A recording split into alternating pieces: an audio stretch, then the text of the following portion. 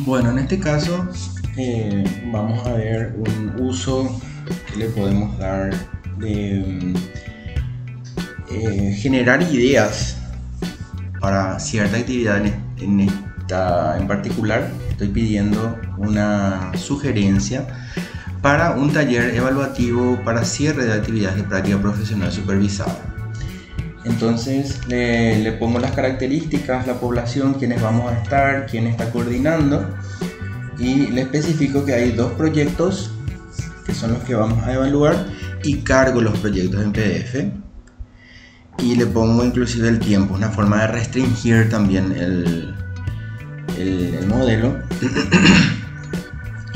y eh, esta es una forma de hacer un prom en, lenguaje natural. El resultado. Nos eh, distribuye inclusive el tiempo con las actividades sugeridas. Nos habla de una introducción de 5 minutos en donde el organizador da la bienvenida, explica el objetivo.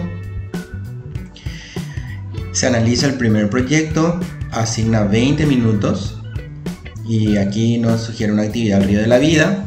Entonces, eh, en un papelógrafo dibujado como río y los participantes, docentes y estudiantes colocan un post-it respondiendo cuáles fueron los principales aprendizajes en la orilla del río y cuáles fueron los principales desafíos en la otra orilla, que les permitió navegar este río, llegar a la meta colocando un barquito de papel. Y en la plenaria, entonces se comparten reflexiones y aprendizajes clave. Las preguntas guía serían qué nos dicen esta experiencia sobre la salud mental comunitaria y cómo aportó a la formación de los estudiantes.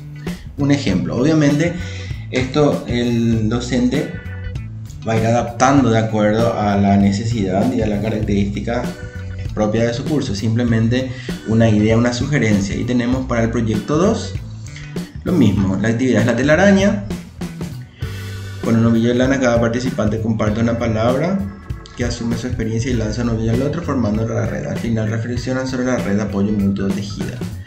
En la plenaria, la reflexión sobre el acompañamiento psicosocial y la violencia contra las mujeres. Se pregunta entonces qué aprendizaje deja sobre el rol del psicólogo comunitario y cómo se vinculó la teoría y la práctica. Y para la reflexión final, entonces eh, sugiere un círculo de diálogo, una ronda donde cada uno comparte una frase y su principal aprendizaje o reflexión integrando ambas experiencias.